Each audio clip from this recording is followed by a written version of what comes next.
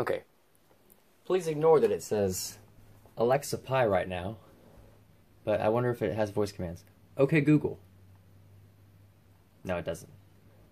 But it does have enter. So this just came out uh, like 50 minutes ago, and it was easier to install than the the Alexa, honestly. So that's that's why it says Alexa. I did this yesterday, maybe two days ago.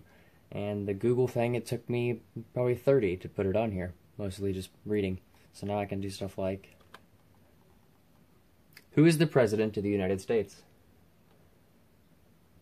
The President of the United States of America is Donald Trump. Not nearly as, as friendly as as Alexa, but it, it even typed it into the text there. Who's the president? That's that's so cool. How tall are you? Google Home is between 5 and 6 inches tall. Oh, you silly goose. You're not a Google Home.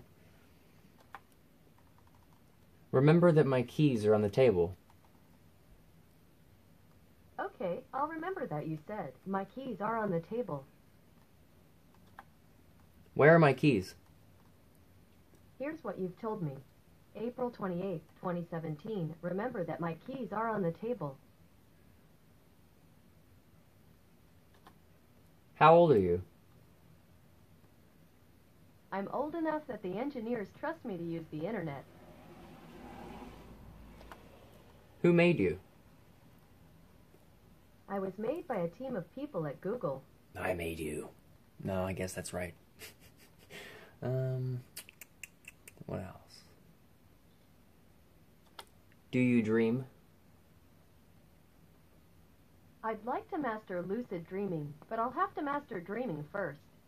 Alexa's response is better. What do you think of Alexa? I like Alexa's cool blue light. Plus, we share an affinity for Star Wars. What do you think of Siri?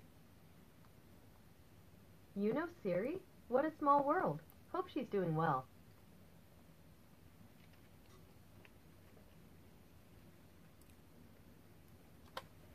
What do you think of Donald Trump? That seems like an interesting topic. What do you want to know about Donald Trump? Wow, they actually responded with, with more audio.